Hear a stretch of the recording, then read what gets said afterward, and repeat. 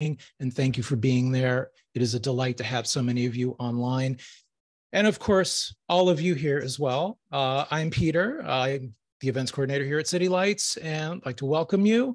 As always, we are beaming to you from the unceded ancestral grounds of the Ohlone peoples. I'd like to take this moment just to kind of acknowledge those who have come before us as stewards of the land. Uh, to have Gillian with us always is a delight. And then finally, again, in the poetry room of all places, which after many, many moons, you know, Gillian is no stranger to City Lights. We have hosted her many times before. She has actually hosted me. I mean, it. She's also translated the Henri Michaux "Thousand Times Broken" that City Lights published. Uh, a very dear, dear friend, and so happy to be celebrating a new book of poetry, Notes from the Passenger, which is published by the wonderful Nightboat Books. Uh, this is Gillian's ninth collection, if you can believe that. So, probably some of her most intimate work to date. It's poems traversing territories at once mythic and yet engaging in this very perilous world that we live in. Uh, there's a world wrought with both beauty and oftentimes great violence. And Gillian embraces it whilst also looking beyond it towards more infinite dimensions, never really shying away from the unknown or the unknowable. Um, she is a true traveler in words as well as in emotion. And it is really breathtaking and a delight to go along with her for the ride in this wonderful new collection. So, Notes from the Passenger offers us food for the soul and it is a pleasure to be able to host Gillian again here with you in the poetry room. So, joining her tonight is Norma Cole, who is a great poet, translator, educator in her own right. Also, City Lights published Where Shadows Will, which was the inaugural volume in the Spotlight Poetry Series. Uh, Norma has a long-standing relationship with the world of letters here in San Francisco, being a member of the Circle of Poets around Robert Duncan and being involved with language poets and so on. She's had wonderful translations. She did Emmanuel Hocquard and uh, Fouad Gabriel Naffah. She has taught at USF, at San Francisco State. Really such an honor and a delight to always have her in our presence. So I'm going to get things started by turning it over to Gillian, who will read from her new book. Welcome.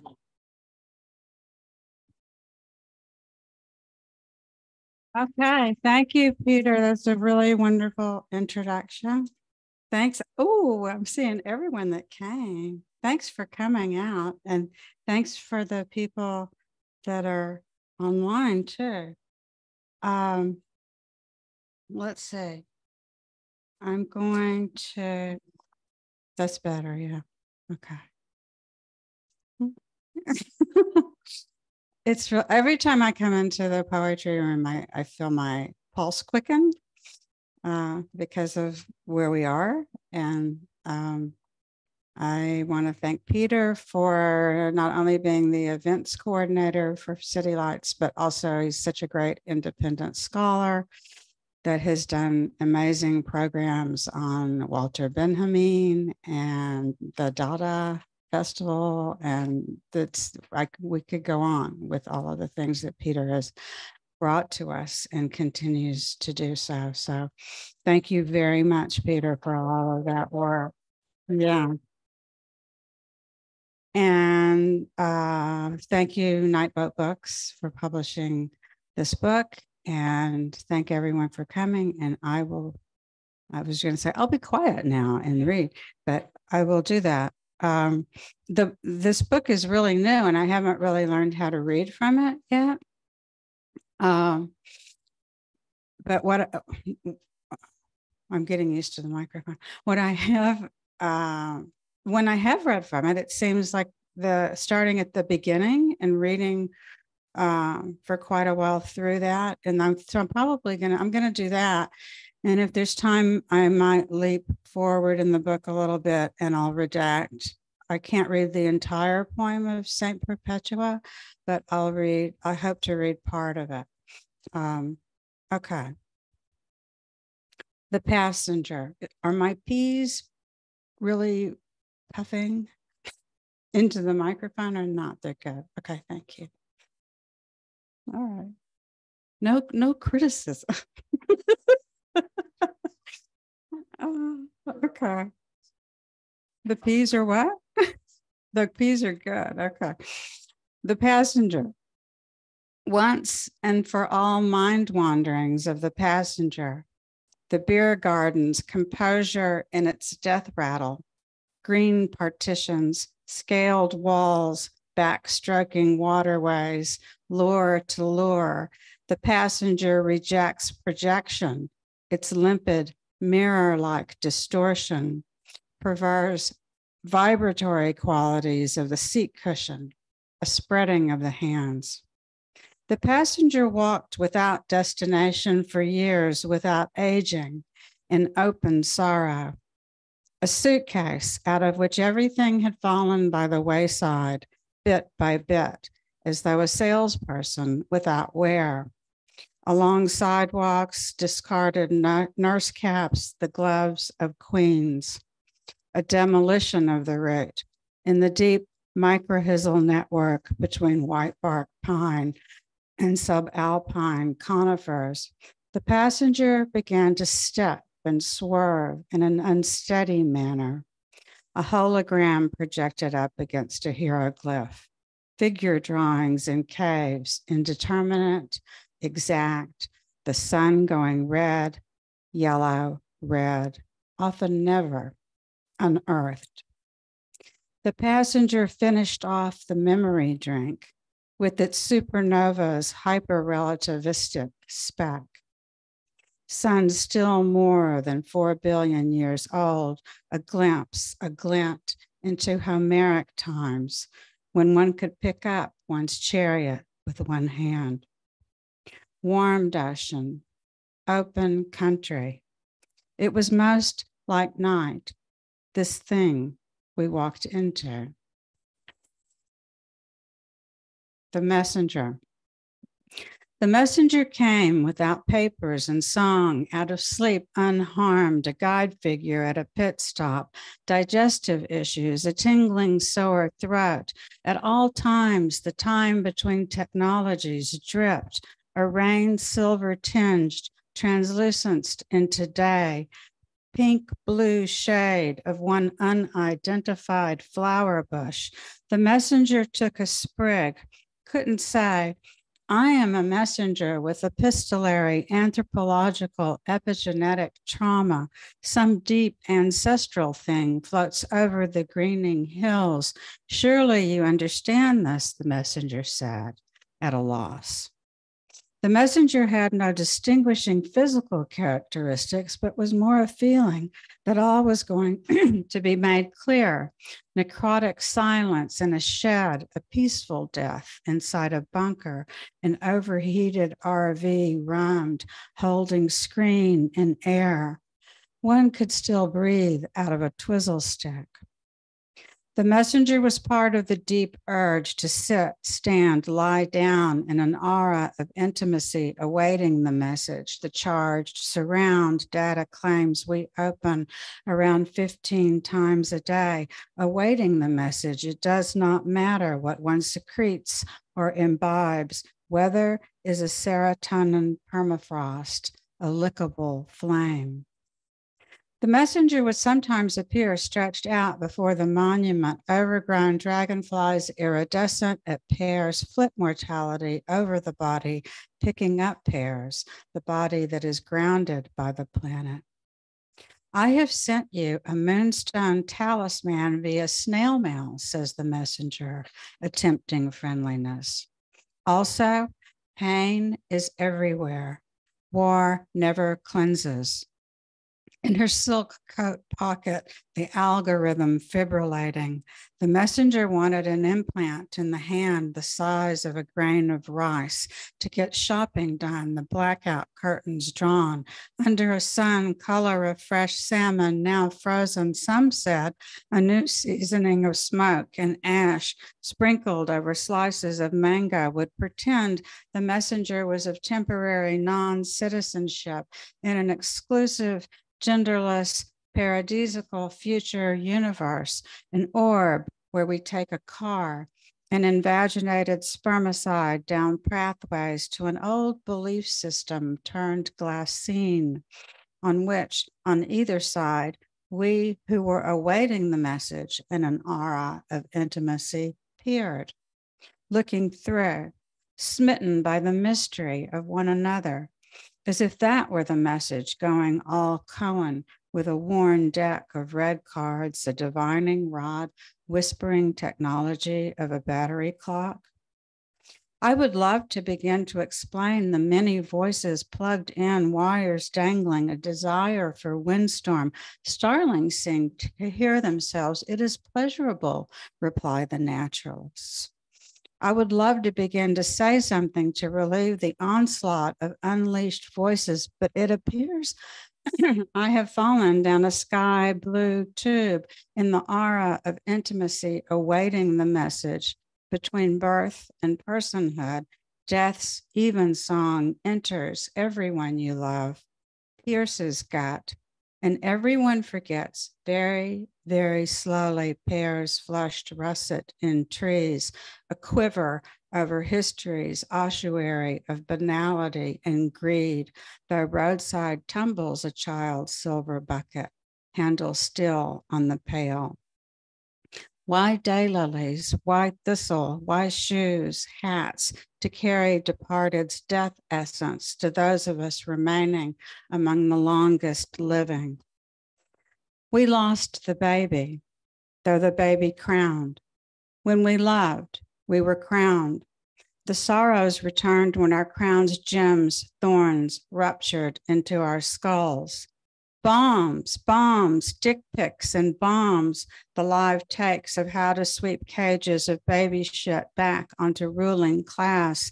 I would like to message you, but the white, powdery appropriation of my throat, cuttlefish, songbird, vapor in this body is like a body politic or stringy cloud. Everyone a sage rising on a platform, a rupture massaged into all of the throats, multiglottal, the collective dream of art.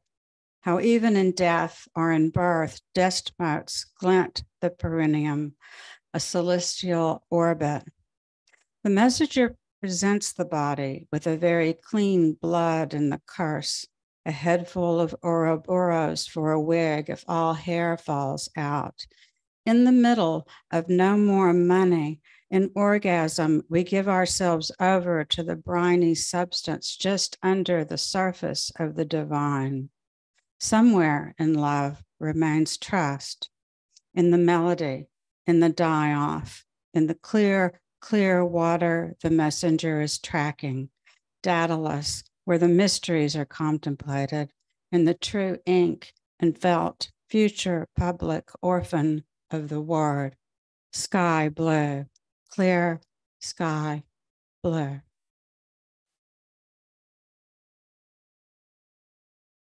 Okay. Uh, this poem is from my daughter, and it's called How It Was No Longer Only the Country That Was Divided. It was the order in their words, so that when someone said work, we lay down, so that when someone said art, Memory was our insufficiency.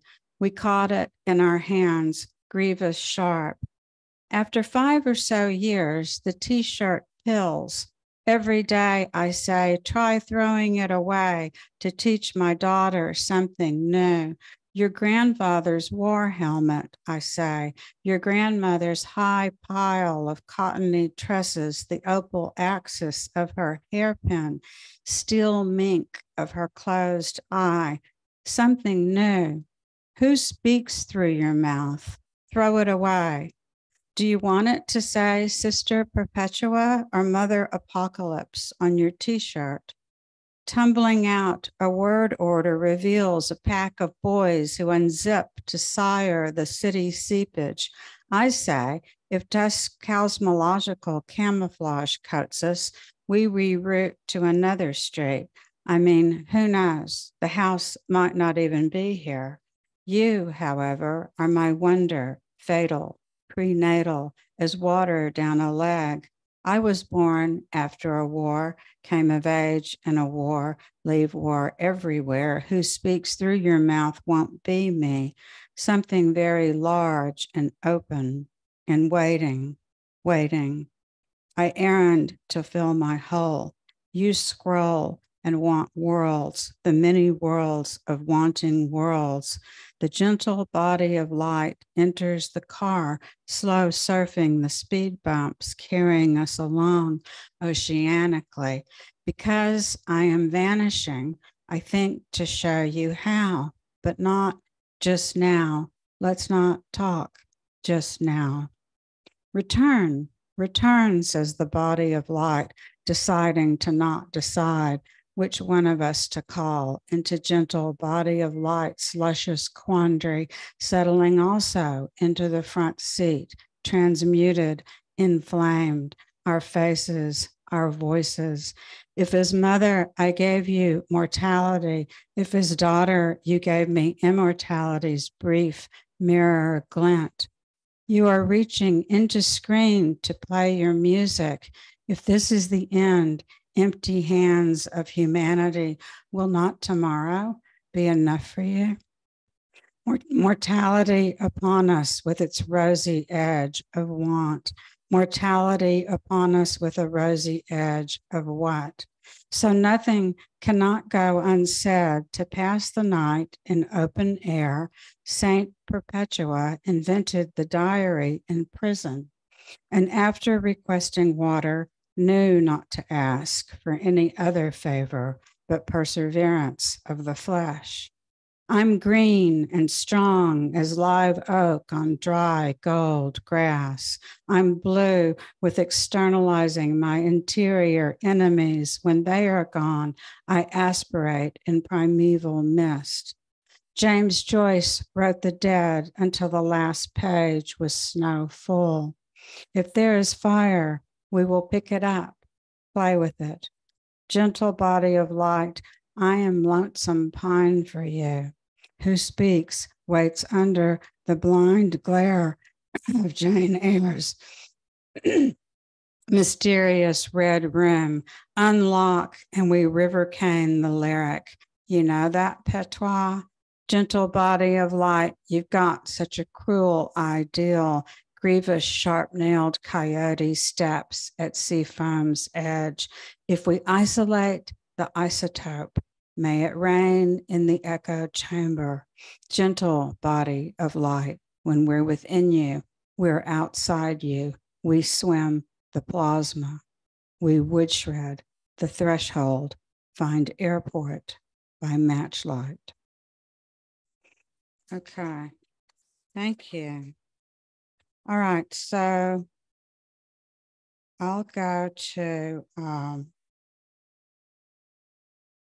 the Saint Perpetua. There's a, a poem in the book that is, um, it's a longer poem that uh, explores the um, the text of Saint Perpetua's diary, which is only six pages long, and uh, it was um, she wrote uh, all of it until she was killed, until she was martyred. Uh, uh, she and her servant, rumored lover Felicitas, um, were they were led into an arena with cows that were to mutilate them, uh, but that didn't work, and then they were beheaded. And uh, Tertullian was her contemporary, and he is um, credited by some scholars. It's never been proven. Um, he claimed that he was an eyewitness, and he finished uh, what the rest of the of the um, the diary.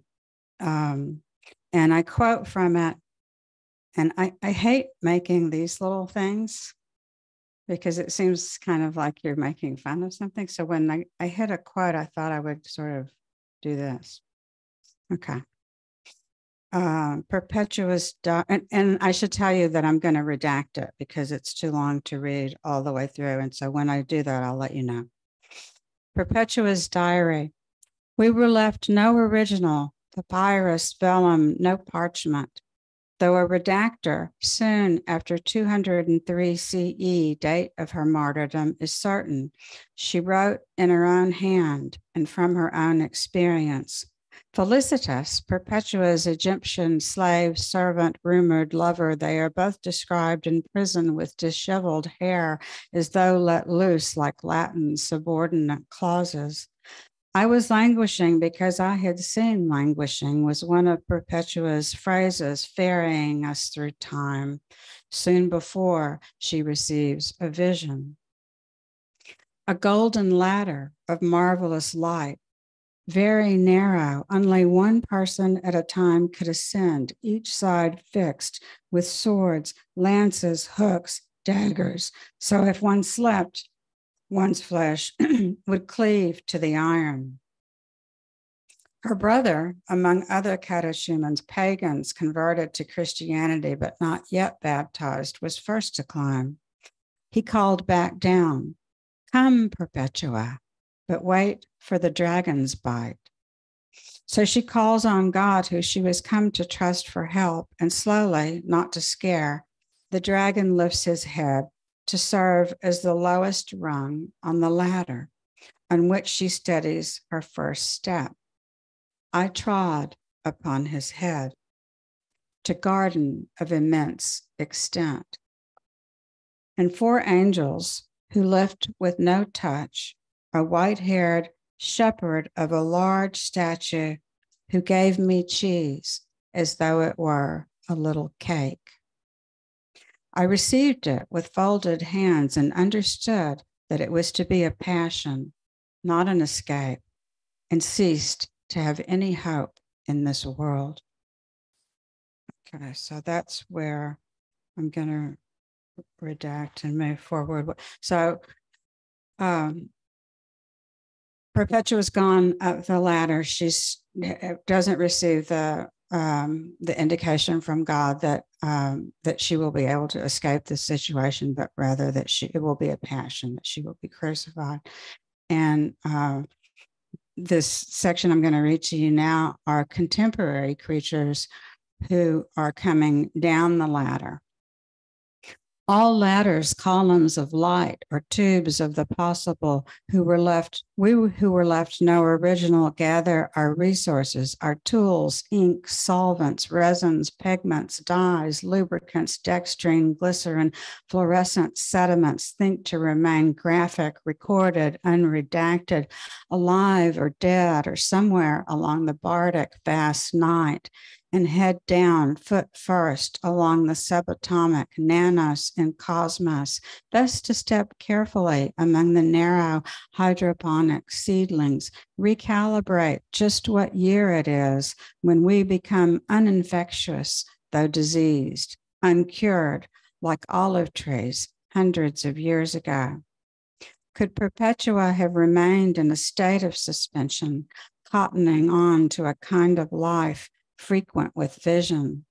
One further rung, one further loop.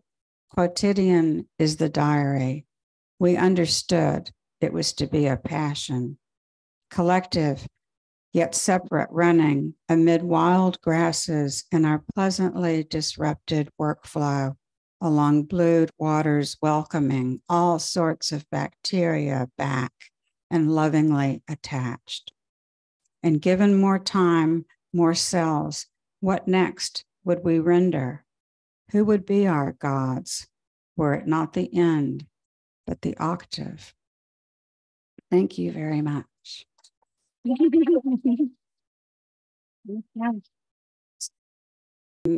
it's nice here.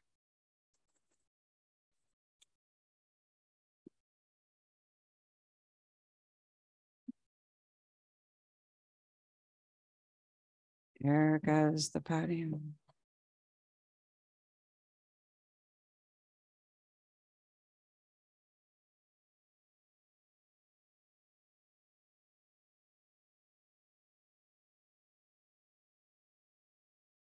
Okay.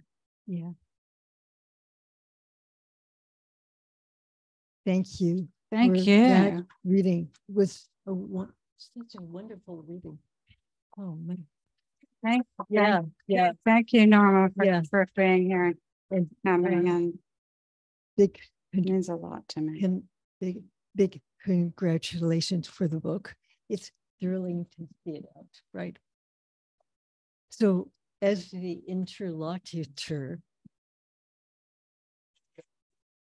yeah, Speak as close as you can, okay. all because they can't right. hear you.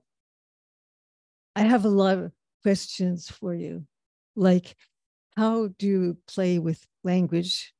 Your blank spaces, the s- constellations around your diction, Mhm. you're working with other artists in other for art forms, your take on conceptual writing, materialism, imagination, the spirit, the lyric, and any other incidents, anything in your work, the books that feed you, that feed into your work.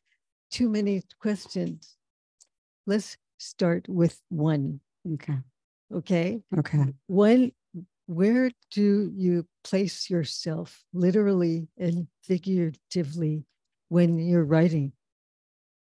Where do I place myself? Yeah. Literally and fig, that's a literally and figuratively when I'm writing.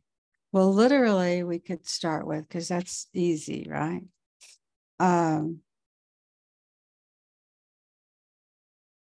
all kinds of different places. Um, I have a, a, a studio re- that I write out of, but I'm all over the house. And- studio? That's what I do. And then figuratively, I really like that idea. I've never thought of that. And um, I think that one of the pleasures is um, that I make a, a, a, a large sort of mess of, of language and um, sound, and I don't think at all about how it might come together and uh, something will catch and then uh,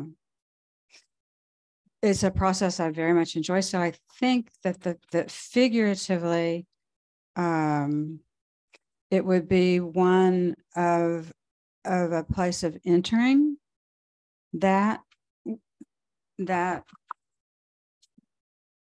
constellation of you know language and image and and just seeing what's there. Just grabs you. Mm-hmm. Yeah, yeah.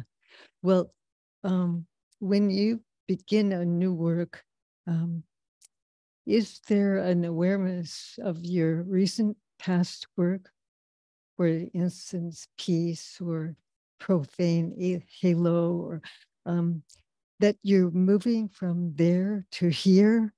Um, or is it more each time a start from scratch notion?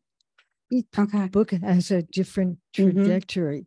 So the divining rod, as you say in your poem, the messenger.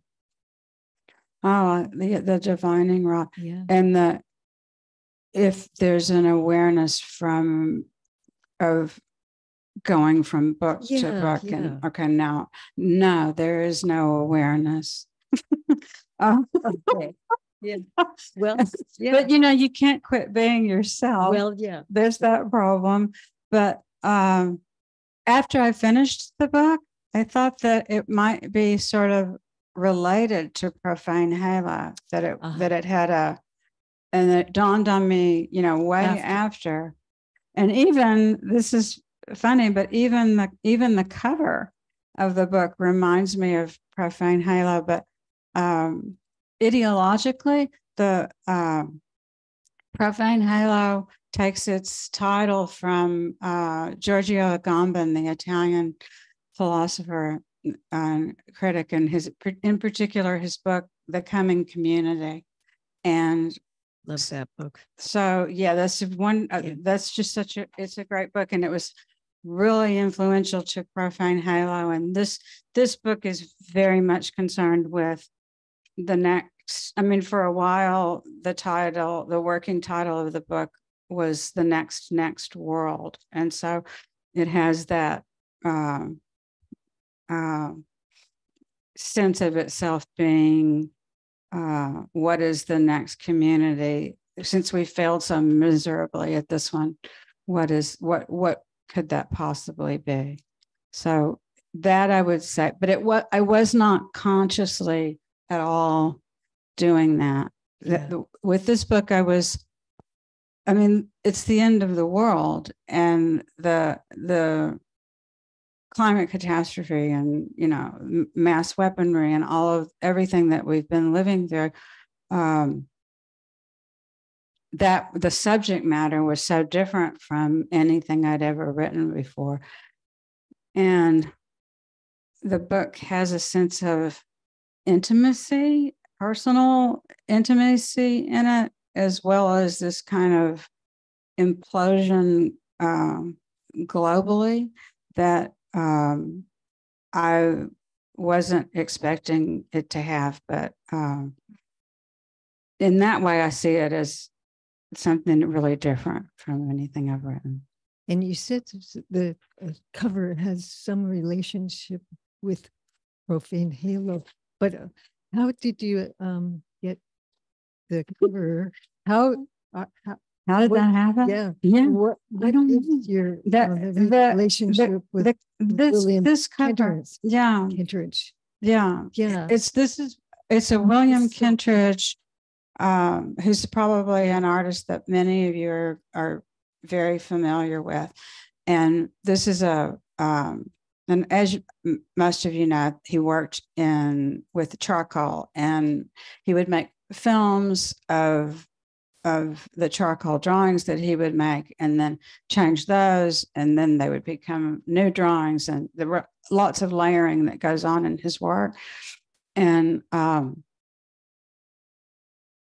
uh i was working i was i was given a kind of assignment uh from the townsend um group at uc berkeley it's a it's a group it's a uh, it's a I hesitate to use the word think tank, but that's it. it it's a um, it's a group of scholars, and I, I was assigned a classical um, scholar uh, that worked with Homer, and he had a slideshow, and he used this image in it, and I didn't know it was William Kentridge, and I loved the image, and I downloaded it into my photos, and when it came time to, you know, you have to have a cover.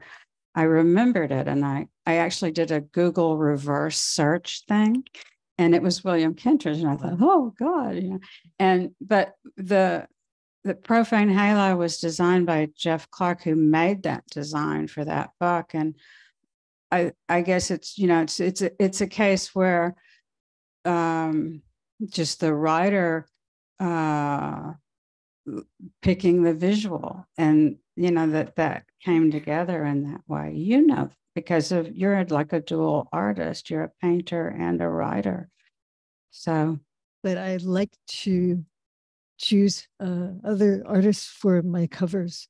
uh-huh, Yeah, yeah as you. you don't do. want want ever want to have your own art on your cover No, No. I I prefer to be with people in uh, the community of artists, not by myself. hmm So yeah. hmm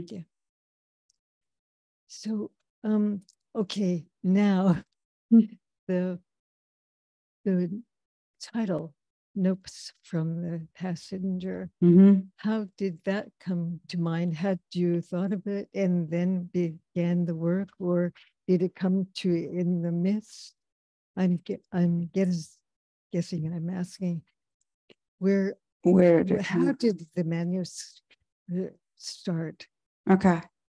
Um, it had a lot, the book had a lot of journeys. It was, it was, it was started before my uh, selected poems came out. So there was, it was, you know, the next, next world. The, the pandemic had not happened yet.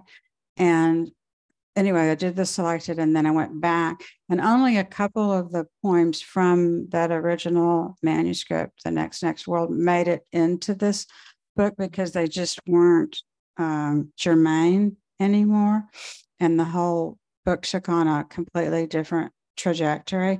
The Messenger was written was was the first poem that was written from the book but i never wanted the book to be called the messenger because there isn't a message and that that would be so didactic and bizarre so I, then i created the passenger to you know undercut the notion of the messenger and then um, a sense of a kind of loss of control the the people that were in this world that i was envisioning had not had very little agency in their world they were more like passengers in a you know a train wreck Yeah, that was The word passive comes up with passenger. Mm-hmm.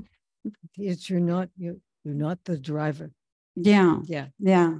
And the i i began i i liked that about the book of about or the the world a lot that you know um that was not a bad thing for human beings to lose was a sense that we were um, in control of our own fates um, if this is you know what it has brought us. So um, i have completely forgotten the original question and it probably digressed all over the place Great. But- that's great. okay I i'm glad you as much as you want. Um, and notes. oh the What- what- notes Yeah. One thinks of a more casual, uh, less formal writing, more vernacular because Mhm. it's notes. Mhm. yeah Yeah. Yeah, I became intrigued by the idea that signals were coming through, you know, that there were notes that were left, but they were, you couldn't really understand them. And they were um, different alignments and, you know, things that were coming towards us, but but not things that we could understand because we were in a different world. And I be, the, what happens in the book is there's a there are there's ancient figures like there's the Homeric and the in the passenger poem there's Saint Perpetua, and then there's also this hurdling of, of a futuristic space, and so the the whole space time continuum, which seems to be something that we're still very much in. Um, um, I be, I became aware of it, and so then that was part of the notes. The other thing that's going on with the notes are are musical notes, um, because I thought a lot. I listened for some reason. I listened a lot to Mozart when I was writing this book, Oh. and um, the instrument I thought the most about when writing was the piano, um, and in particular the the the quality that the piano has if you press on one one key and how that sound can extend and attenuate into for a very long time until we as humans can no longer hear it and so that duration of time I was interested in. I have no idea how that actually entered the book, but um, I thought about that. It's it's, it's there. Mhm. It entered the book. Okay. Yeah. Thanks. Um. uh, So there are six sections. Uh, you numbered them with Roman numerals, which is not a casual thing to do in Mhm. this time, Mhm. and probably you had to think about that. Um, I think that it was very practical. Oh, really the it, in terms of putting the book together one the saint perpetua has a lot of aerated pages is how i think of them there there's a lot of white space and there's um time uh going on that is just really op- more open than it was in other poems and so she had to have her own section. And because she had her own section, that threw everything else off balance. So it was almost like the um, that poem started to have a conversation with some of the other poems, like how to have a future memory. And that poem became more uh, formally engaged in an experiment like St. Perpetua did. So anyway, to answer your question, the the section numbers became Roman numerals, and then there's another section called um, uh, "The Possibility of Joy in the Face of Death," which is a quote from Bataille, and those were those are not because those that is a long a poem that's in sequence, and it was with uh, numeric, you know, one, two, three, not Roman numerals. So. It was Yeah. that that was it was kind of practical in that way. I see. but I yeah, it's kind of a formal thing to do, I guess. Yeah, yeah. Um, I, I wondered if you were working on all the sections at once or once you've finished one section, you started working on the other, another? No, the, it was you the the? I the book found an order, you know, and I knew that that was the order, but I couldn't. There was a. I was really happy when I figured out the section breaks because, and that's where the sound came became important to me because then it was like, okay, boom, boom. there was that was could go on and it could hold the book and all the directions that it went because of those pauses of durational sound that found a way to be by having a section break. And it, uh, yeah, that made me real happy once I figured that out because it, it was, it was, yeah, So there's an arc. there's an arc. Yeah, Mhm, I can see that. mhm. Um, for each session, there's a tone, a feel, but the arc goes through Oh, good. words. Yeah. Feeling. Um, I'd like to zero in on one poem now, now that really blew me away. Um,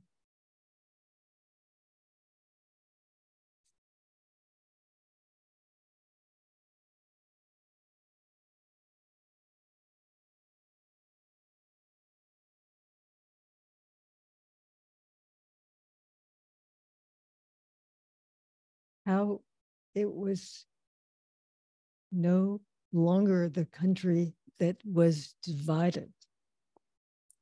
I had to think about that for a spell, Mhm. how it was, how it was no longer, how it was no longer the country, how it was no longer the country that was divided. Mhm. Yeah, it's all there. Oh, yeah. Yeah. Okay.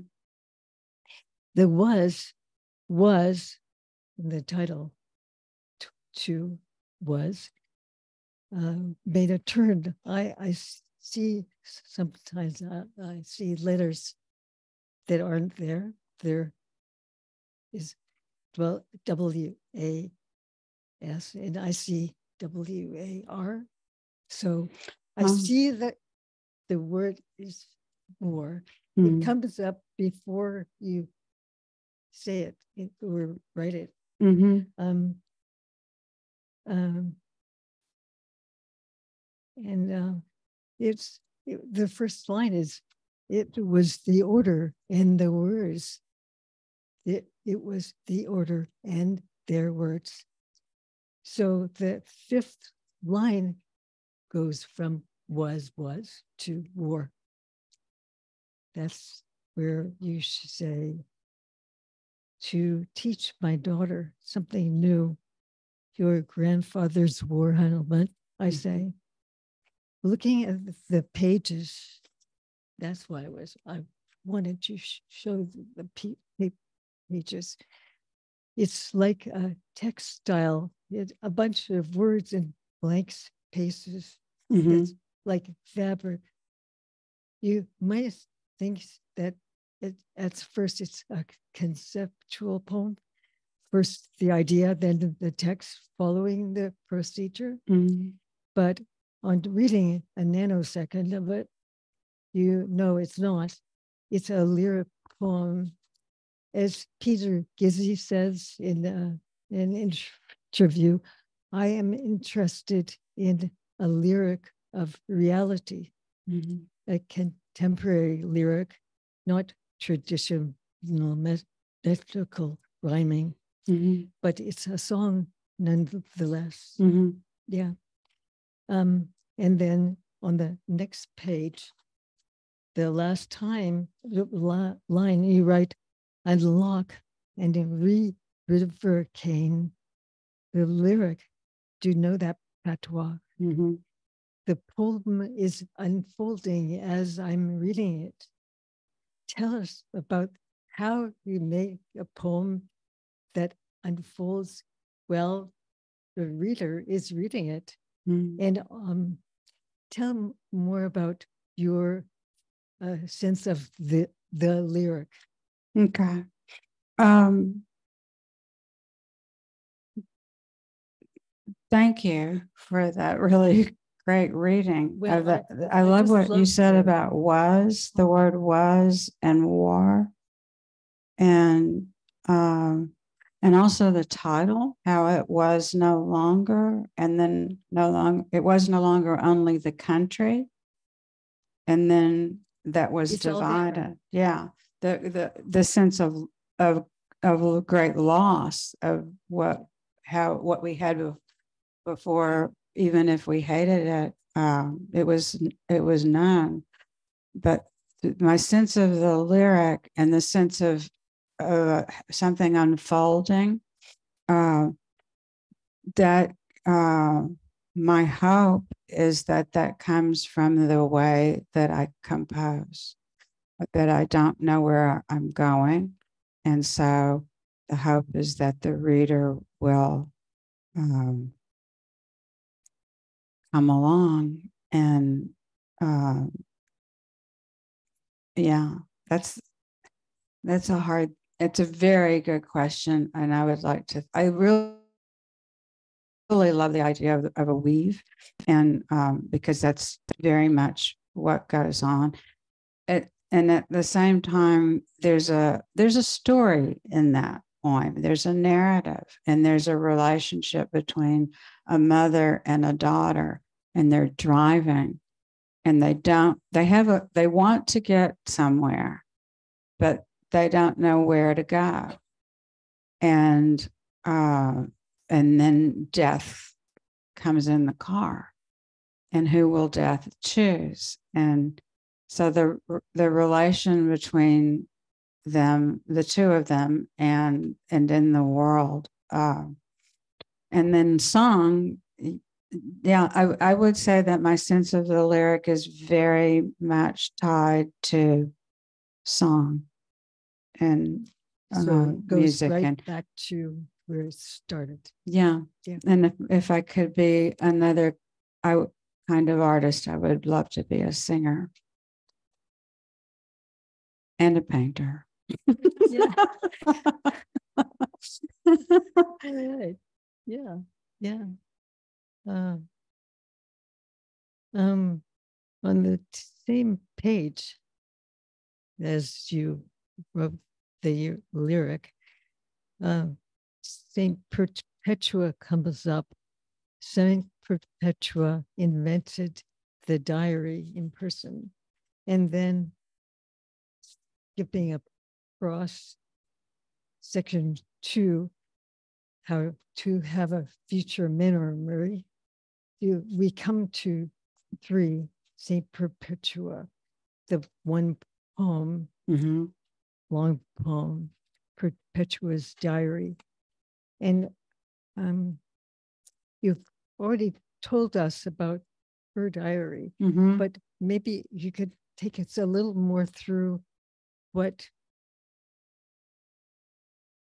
you uh, found in the diary that made it into the poem. The poem. Yeah. Okay. Um, the diary, I was just the, I think I found I did not know about Saint Perpetua, nor did I know about her diary. And I, I think it was in reading um, the ill. I read um, all of the Iliad again when I was writing this book, and I was so I was in that time period, and I and I found her, and I was I was intrigued about what was true and what was not, in, because we while we do have this text, we have it in both Latin and in Greek. Uh, we have no idea about, you know, what if Tertullian is actually the person who picks it up and um, uh, he was he claimed to be an eyewitness, but their uh, scholars are, you know, they say we, we don't know, you know, what what how this how we even have this particular text. Um, and I was intrigued by the I, I had never done that before, where I had taken a source material like that and then um, you know turned it into a poem and so i sat with it a long time and um, lifted direct quotes from her that it was her writing i was very attracted to the idea that this this is the this is the that this particular it's considered one of the earliest christian texts that we have and it's also it is it is proof that women wrote in this time period. So that was very intriguing to me.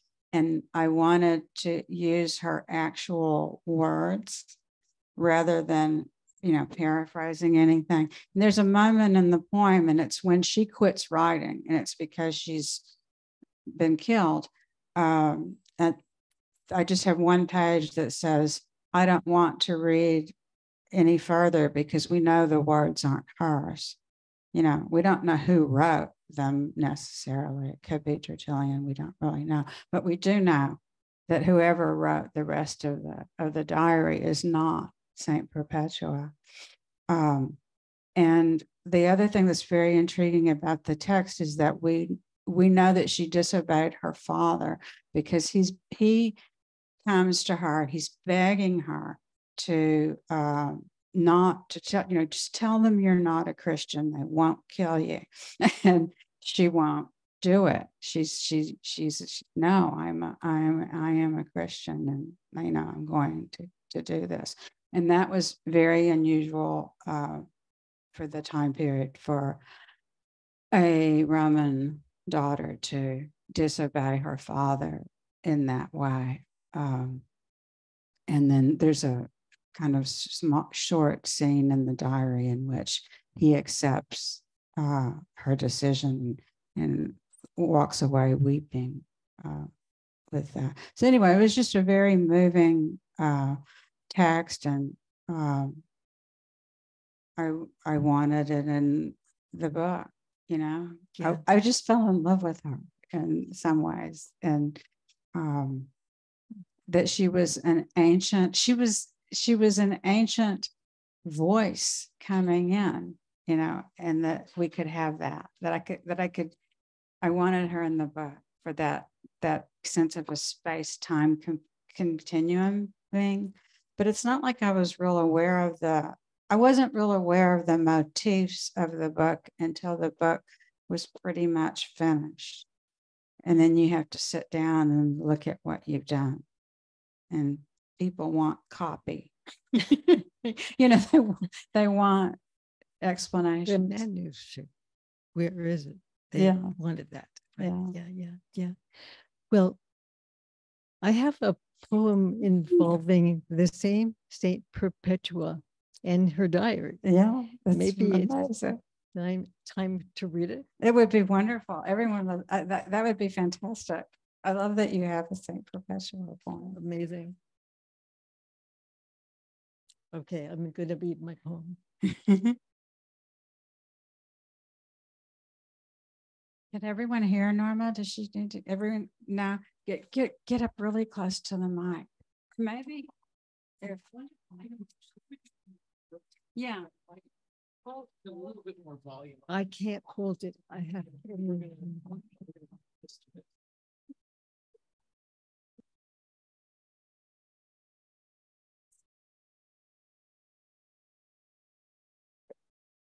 Thanks.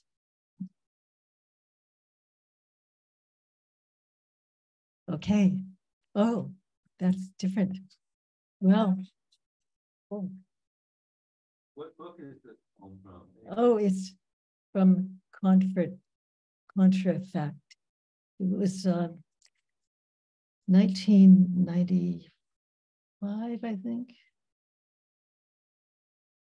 Ninety-six. Untitled From Nostalgia. That's a book I never wrote. But it's from that book. Quote, I awoke still chewing something undefinable and sweet. Perpetua. I woke still chewing. That's one's refusal to know something indefinable. Anything, emotion, for instance, and sweet. Are hearing what people live, will, and imagine for each other. At the end of that word, get ready for it. I turn to a ladder, my, my dear, with sharp weapons attached to its sides. The lateral motion inflicting difference between riding and driving her imagination of others' lives. Before in time, a satin waistband is the image of women with eyes closed. The only tender image of when do we eat and what book was that? Every bead counts. He has a scratch on his right cheek. She an abrasion above the corner of her mouth. She wears treasure A, a lovely touch. Where does the first personal plural begin? That all experience takes place overboard. What is document? The I'm telling you form. Letters from the bridge, apples, barely telling about overtones, one for me, observe in the singing, her work or her tree, the book of intention. We know it as the name of a book, a writing, a position, a philosophical legacy, although it was named after a person, his son, killed in battle. Now read it. So I go from Perpetua to Aristotle, um, Nicomachean ethics at the end. So that's.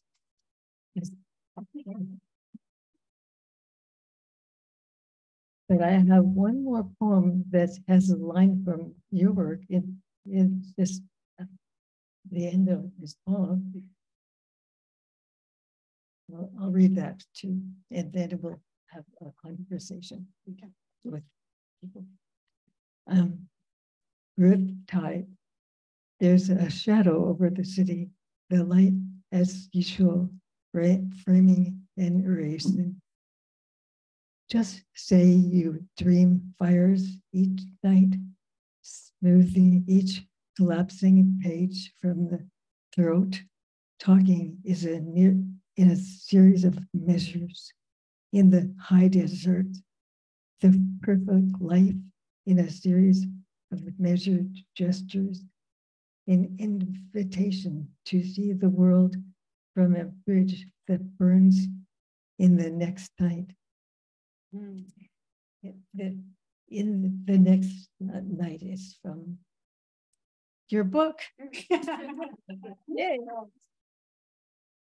Oh, I have a I have a question. Do y'all have any questions? Do you want to talk just a little bit? Or I have a question for Norma about the document that you the you, the word document and how um what what drew you to Perpetua for that poem and working with it as a document because that's you know not easy to do. I, I think, I think. Okay, okay. Thank you, thank you. Um, thank you. Yeah. Um. Document, I think I use a lot of documents in my work. I just take from them and have a conversation with them a lot. That's it. And um, how I came to Perpetua, I, uh, I don't know.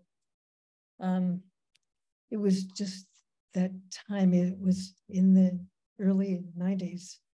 And maybe the book came out then, the diary. I'm not sure. But um, we were all thinking about women and writing and the ancient world because there there were no women writers there, but they were. So it was started to come out, and we were voraciously reading.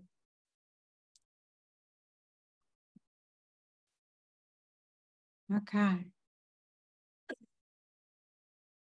Yeah, there's, I think there are descriptions of Perpetua with, you know, a notebook and pen and, you know, plumes, whatever instruments she used and that they were common at the time or that, so that, that was one of the things that was kind of mind blowing about two, two hundred and three CE.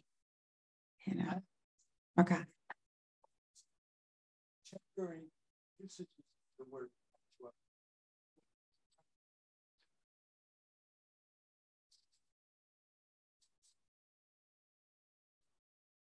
The, the, the question was the contemporary uses of the word Perpetua.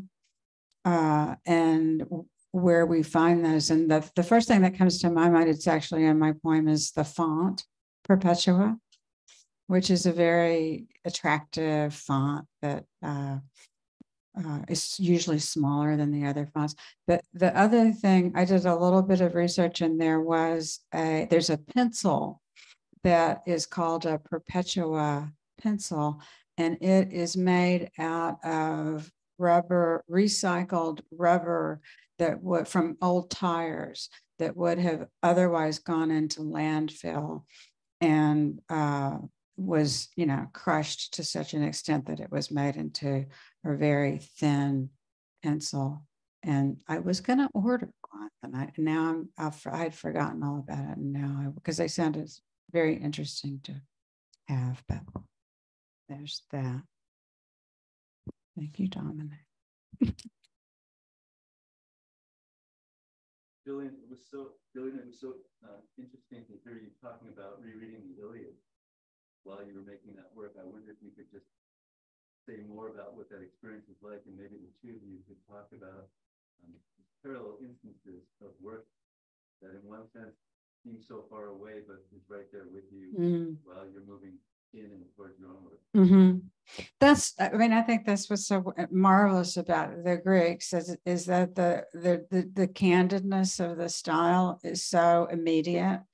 No matter what ancient Greek, you know, writer you're reading, and with Homer, that's certainly the case. And the, the battle scenes in the Iliad are so vivid and um, so incredibly violent and you know we're we have a very violent culture so um it wasn't it was just um i in many ways a reminder that I, I, we, seem, we we seem to be so cut off from a lot of history and um to think that oh you know that we have mass shootings and well yes we've been killing each other for a very long time. And so the Iliad is is is so violent from the very beginning all the way through um, that it's um, a reminder I mean of that for me that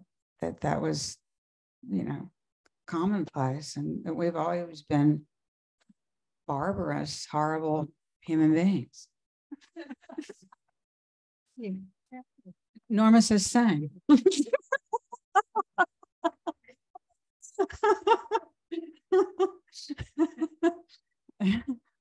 yeah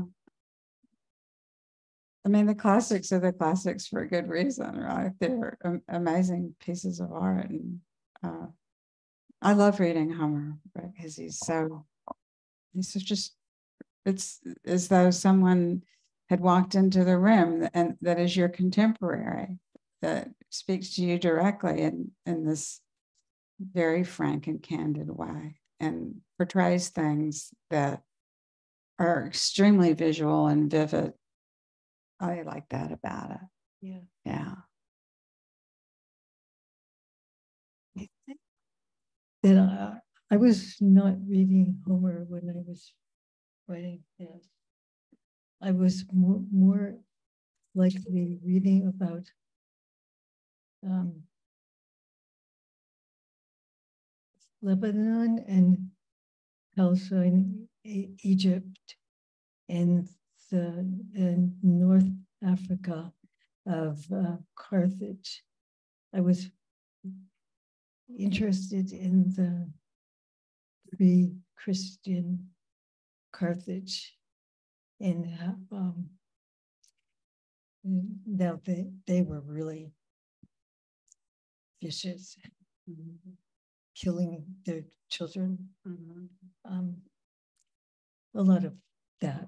Um, so I was not particular, particularly reading the Iliad that time.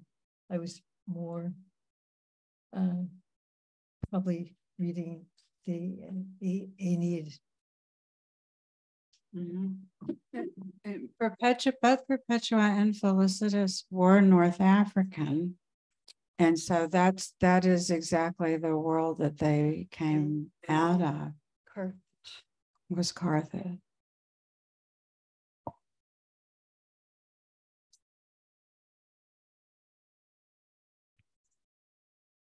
I believe we may have come to the end. no. Yes, Alex has a question.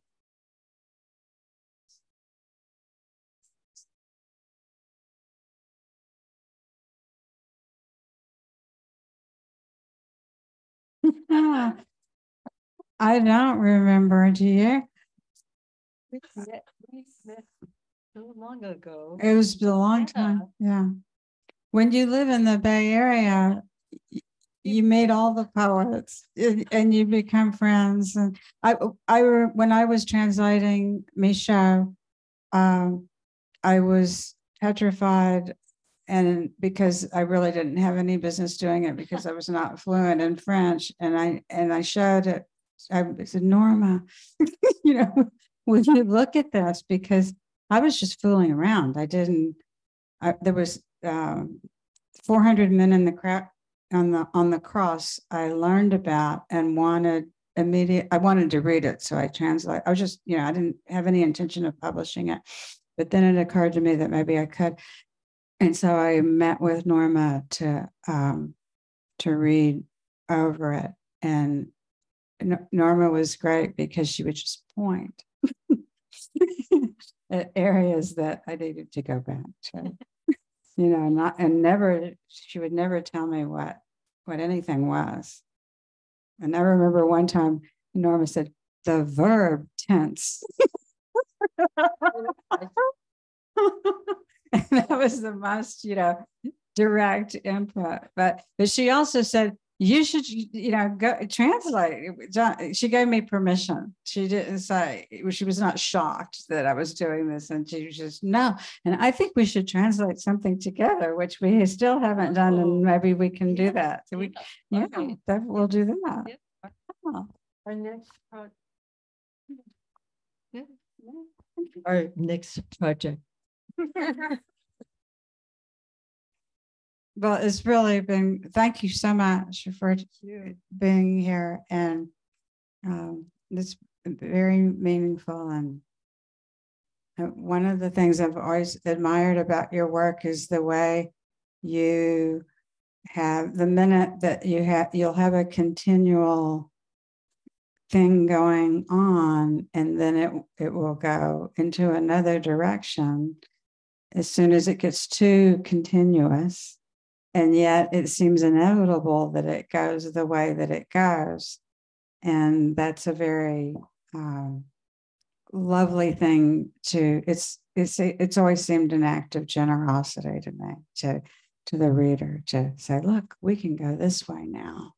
And we don't have to have this perceive this this received way of reading of existing of perceiving and i think that i mean norma you've been a great influence for so many people in the in how that your work has done that over many decades and continues to. I have, I have a, a coda that I want to talk about. It will just be a minute. Um, in section six, you have a poem called Thank You for the Afterlight for God. And I constellate afterlight with afterlife, afterthought, afterward, after dark. And uh, the same thing that was happening with another poem that I, I read about. Um, and, and on page 90, you say, where synapse thinks it saw a spirit so you go from the brain to spirit. Yeah, yeah, yeah. And then, and then it takes you right back to the beginning, uh, where there's the first ep- epigraph. George Trakl, tell me, how long have we been dead? So I just wanted to say that it goes around and around, and then you start reading the book again. And fantastic. Wonderful. Thank you very much. Thank you, Norma. Thank you, everyone here at City Lights, and so many really sweet friends and poets I love have shown up. And thank you, Peter, for hosting us. And thank you, everybody online who came that we can't see. Thank you so much. I'm one happy person right now. It's time for a drink and something to eat, maybe.